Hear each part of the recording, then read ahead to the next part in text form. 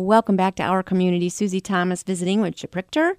Uh, he is going to be performing this Friday night, November 22nd, uh, over at Malone University in the Randall Campus Center, better known as the Barn, and that'll be taking place starting at 6:30. It's jamming in your jammies, and definitely wear jammies. Have the kids all wear jammies. And uh, it's fun for the grandparents and parents to wear jammies as well. And then uh, then everybody goes home and jumps in bed because you're all worn out from a really fun concert. right. so, Chip, when you talk about music for kids and families and that that had not been your intended path, I'm so curious, how did you kind of get led that direction? Well, I was um, I was pursuing I was doing music for grown-ups. I was leading worship. I started writing some songs. This is this is back in like 19 early 90s um, and i was i've been you know just pursuing music that way. Mm-hmm. and i decided i i've wanted to, to i started playing out more and i thought i'm going to try you know pursuing this a little bit to see if i can make it my living. And uh, like a lot of people do. And i began to do more concerts, and I continued to lead worship. And, my, and I, again, it was it was Christian music for grown-ups. That's what I was mm-hmm. doing, kind of folky, mm-hmm. um, James Taylor, Phil Keaggy esque kind yeah. of things. You know, uh, a lot of coffee houses. I don't know if you remember that time. Coffee shops were kind of becoming a pretty popular thing. And oh yeah, there was opportunities to play in coffee shops, and so I was. I, and I made, I, my church got behind what I was doing. They supported it, and, and then I released my first studio album. It was called People of Dest- Destiny, People of Destiny, and it was a, it came out on a cassette. Mm. do you remember cassette? I do. yeah. So, can we still um, get that somewhere? You, well, you probably can, probably on eBay cool. or something. if you, and if you can dig it up, the, wait, look at the cover and look at the hairstyle. Oh my gosh, it's crazy. anyway, um, yeah. so that was um, 19 I guess that was probably like 1991. Just the fact like that you're that. saying 19 doesn't that seem funny? yeah, right. I know. so, so, anyway, so I was doing that, uh, pursuing things that way, going that direction, and then um, we had we were just trying to book concerts because that's how you make a living, mm-hmm. living doing this thing. And mm-hmm. so I, we had we had sent a press kit to a place called Lakeside, which is up on Lake Erie. Lakeside is many listeners may know about that, but if you don't, you could check it out. Lakeside is part of the Chautauqua Network. Um, Lakeside Chautauqua's and their summer. It's a summer resort, very it's much very strong faith based community, but it's just a fun place to go. But yes. they contacted us. We had sent a press kit to try to book a show. They do entertainment mm-hmm. all summer long, and they contacted me and said, "Hey, would would you consider coming and talking to us about? We have this program that we do with kids." And we, we we'd like to talk to you about doing it for the summer. And I said, well, I don't I don't do music for kids, you know. And the gentleman that I spoke with, his name was Herb Getz. He was the director of religion and education at that time at Lakeside, and he said, I know, but I got your cassette and I, I got your press kit. I just think you'd be good at it. Would wow. you like to talk? Would you at least talk to me about it? You know, and I said, well, I was desperate to make a living, right? I was trying mm-hmm. to make this a go. So I said, well, sure. You know, so we love Lakeside. We go there as a family, and yeah. so we said we went up and talked to him about that, and he, I said yes to it because I thought this just seems so out of the blue. I mean, it seemed so far out that I was like, I can't not uh, explore this, you know, possibility. And I and I've likened it since then to a burning bush experience. Yeah. Think about how Moses encountered this burning bush that was not being consumed. It says, and and it says he just had to turn aside and see this. You know, he had to. He could not just. He, he had to, and that was kind of yeah. how I felt. We had yeah. to explore it. So we said yes to that first summer, and that was in 1994. Wow. And uh, that's been 25 years. Wow. Now. Wow. We've been doing music for kids and families. I've been doing this program called God Squad at Lakeside. Mm-hmm. And that really has shaped what it what I'm doing musically and what I'm doing as a career and what I'm doing as a vocation. And that's I would never have guessed that. Yeah. You know, Does Herb time. just pat himself on the back saying, Yeah, I, I saw that. I called this. well, he should. And I've you know, he he had, that was one of he's a vision. He was a man who had a vision Yeah. and who who was not afraid to step out into something new and and and pursue something different. And he did that with several things at Lakeside. And there is a legacy of some of his bold and you know I would I would say in faith stepping out in lots of ways things that he has done that, that Lakeside is better for. And certainly I'm I'm thankful for the opportunity with that. Families are just thrilled with what you do up there. I've heard it from just time and time again from friends who make it a, an annual thing that that's where they go mm-hmm. that's where their families go. And a big part of that is you. And a lot of those families then come to jamming in your jammies because they knew you from lakeside. So that whole mm-hmm. thing has grown thanks to what you've been doing up there. You wrote many albums since that first cassette. what what, Yeah. what can people look for, and what are we able to get maybe on, um, you know, co- you know, on discs or something, Sure. or to be able to download? What can we do?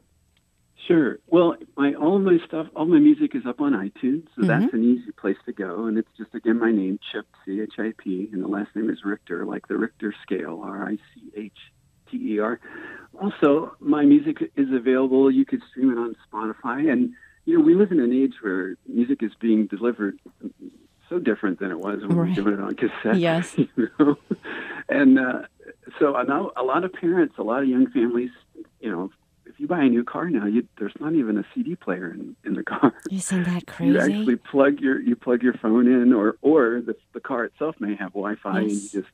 So the what I'm telling people these days is uh, on Spotify, you can find my music there, and what people do with Spotify, and Spotify listeners will understand this lingo. Go ahead and add me to your playlist. Mm-hmm. and share it with your friends. Um, it's a cool thing. I Yes, mean, it people is. can create these great playlists that they're, you know, if they know their kids are going to be in the car, they have a playlist that they've made just for their kids, and they fire it up. Talking about being a, a gatekeeper to to the entertainment that's Right. coming, you can create your own custom designed um, playlist for your children, and and uh, you know, add add Chip Richter music to it. That helps do be sure to do get- that. Yes. I get, I think I get like a tenth of a cent every time someone um, streams my song.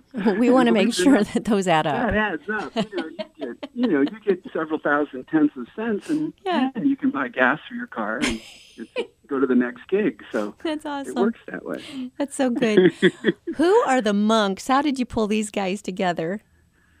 Ah, the monks, they're my friends, and they're great musicians and great players. And we've had an iteration of the of the monks over the years. Different different ones have come through, and and others have come back. And just uh, when you do something, as long as as long as we've been doing this, I think you're going to have that life. Just you know, will take us different ways. But the monks are great, great musicians. They make me sound so much better, and they're so fun to play Yeah. music with. Um, they're guys that, like I said, I've known for years.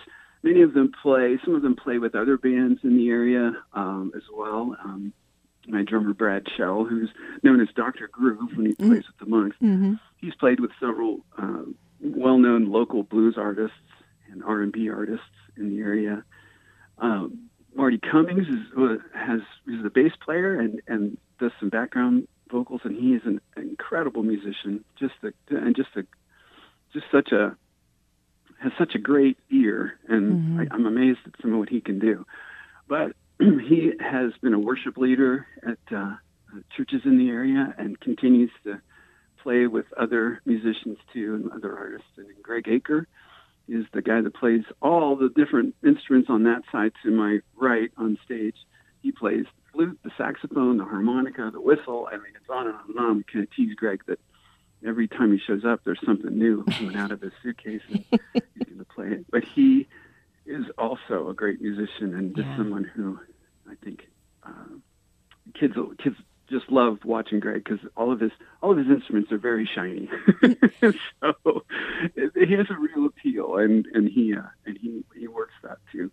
It's awesome. And they are going to be performing this Friday, the 22nd, over at Malone University in the Randall Campus Center. It is jamming in your jammies. I don't think we can end a conversation with you without hearing something and maybe even something about a jammy day.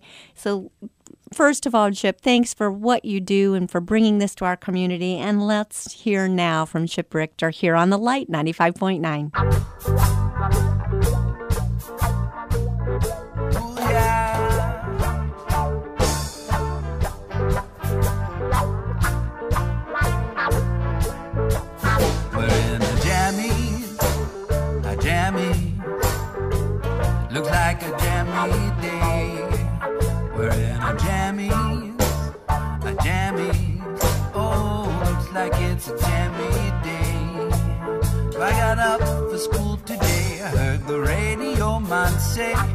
ice and snow is gonna fly.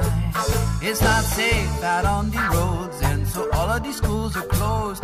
Today's a day to stay inside. And jammies, yeah, it looks like it's a jammy day. We're in a jammies, a jammies. Oh, get out again, come on, let's play. They got jammies that have feet that's pretty sweet. It keeps you nice and warm that way. Spider Man and Scooby Doo, even plain jammies will do.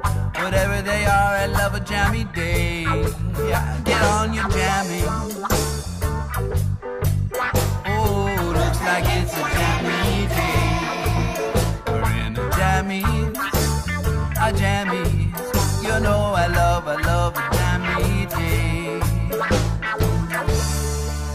In the kitchen. What is that I'm sniffing? I could be mistaken. I think I can smell bacon. Yeah, yeah. And maybe waffles too. Ooh, we're in a jammy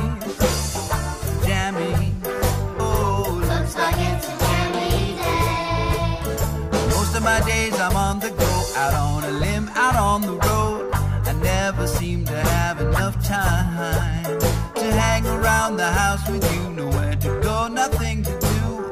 That's why these days are favorites of mine.